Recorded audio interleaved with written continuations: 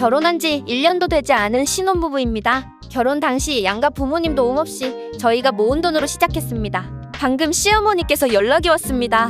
올해 말 시아버지 퇴직하시고 개인 택시 하실 예정인데 그러면 월급이 너무 줄어 저희 보고 도와줬으면 좋겠다고 하십니다. 시어머니 살고 계신 집이 매입 당시 3억에 대출 2억 끼고 산 거였고 현재 시세 4억 5천에서 5억 정도 되는데 지금 상황을 보니 아파트 집값은 계속 오를 것 같아. 지금 집 팔고 다른 데 가면 손해인 것 같고 대출도 안 된다면서 지금 아파트 유지해야 하는 이유를 계속 설명하시더라고요. 대출 끼고 샀지만 그동안은 이자만 상환하고 계셨다며 대출금이 2억 남아 있어서 신우이 30, 시아주버님 40, 그리고 저희가 30씩 보태서 매달 100만 원씩이면 아파트 대출금은 어떻게든 해결될 것 같고 시아버지는 택시 하시고 시어머니는 식당 일이나 아이 봐주는 일 시작하시면 본인들 생활은 될 것 같다고 말씀하십니다. 결혼 당시 시부모님 아파트 시세도 몰랐고 대출이 있는지도 전혀 말씀 없으셨어요. 평범한 집이라고 생각했지 이렇게 가난해서 자식들 도움 없이 못 사시는 분들일 줄은 몰랐습니다. 어머님 얘기 듣고 저는 못 도와드린다고 말씀드렸어요. 저도 살고 싶은 집이 있는데 그 집은 몇십억이라 꿈도 못 꾸고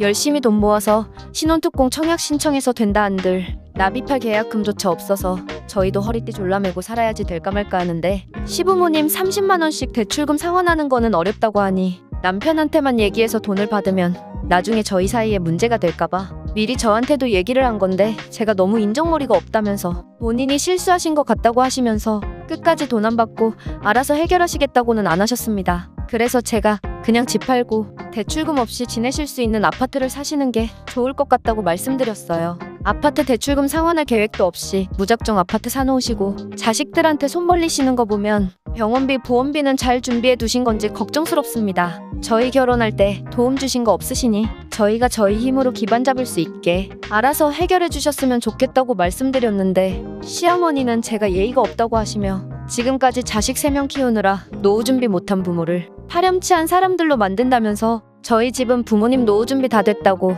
자기 무시하는 거냐면서 화를 내셨고 저는 이사 가신다고 하시면 아파트 같이 찾아봐 드릴 수 있다고 말씀드렸더니 시어머니는 저랑 대화가 안 통한다면서 끊었습니다. 수입도 넉넉치 않은 신혼부부한테 매달 30씩 대출 상환금 받고 싶다고 하시는데 안 드리려 하는 제가 매정한 건가요? 이제부터 돈 모으고 가능할지 모르겠지만 집도 사고 싶고 향후 남들한테 아쉬운 소리 하면서 살지 않으려면 많은 걸 아끼고 참고 살아야 하는데 명절 생신 어버이날 정도만 챙겨도 나갈 돈이 꽤 되고 추후에 가전제품 바꾸신다라든지 코로나 끝나면 친구들이랑 여행 가신다 하면 용돈도 챙겨드려야 하는데 빠듯할 것 같아서요. 그리고 저희가 어느 정도 자리 잡아 직급이 올라가서 급여가 늘었을 때면 저희에게도 부담이 안 되겠지만 현재 저희 월급으로는 시부모님 도와주다간 저희도 나중에 자식한테 손 벌리면서 살아야 하는 상황이라서요. 시어머니한테 그런 말 듣고 나니 제가 그렇게 못된 건지 매달 30만 원씩 도와주면 알아서 생활하시겠다는데 제가 못된 건지 생각이 드네요. 제 가치관으로는 집 팔고 남은 2억 5천으로 금액 맞는 아파트로 이사 가셔서 살고 하실 수 있는 일로 생활하시는 게 맞는 것 같은데 왜 자식들이 넉넉하지도 않고 기반도 못 잡았는데 시부모님 집 대출금을 상환해드려야 하는 건지 이해가 안 됩니다. 남편한테 얘기했더니 어? 부모님이 돈이 그렇게 없나?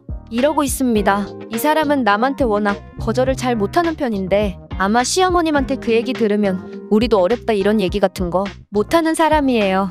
시어머니 일할 생각 1도 없어요. 식당 일이라고요? 퍽이나 하겠어요.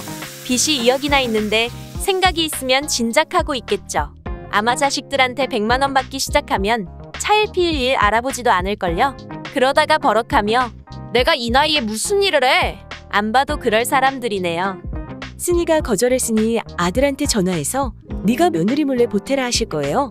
절대 승희 몰래 남편이 시댁에 돈 들이는 일 없게 단돌이 잘 하셔야겠어요. 능력 안 되면 집 팔고 싼 데로 옮겨야 되는 거 아니에요? 그렇게 꼬장 부리면 해줄 것 같으니까 그거 믿고 그러는 것 같은데요. 코로나 끝나고 여행을 가던 말던 가전을 바꾸던 말던 뭐하러 신경 쓰시나요? 알아서 해야죠. 30만 원도 못 드리냐는 분들 들어보세요. 시댁에 30만 원 드리면 친정은 아무것도 안 드리나요? 그것도 우리 부모 무시하는 일이니 똑같이 30씩 준다면 60. 여기에 시댁 친정 생신, 어버이날, 명절 등등 무슨 날이면 또 식사에 선물에 용돈 나가고 어디 임플란트라도 해야지 하시면 또 자식들 돈 삼삼오오 모아서 하실 텐데 이거 다 챙기다가 내 미래는 어떻게 챙기나요?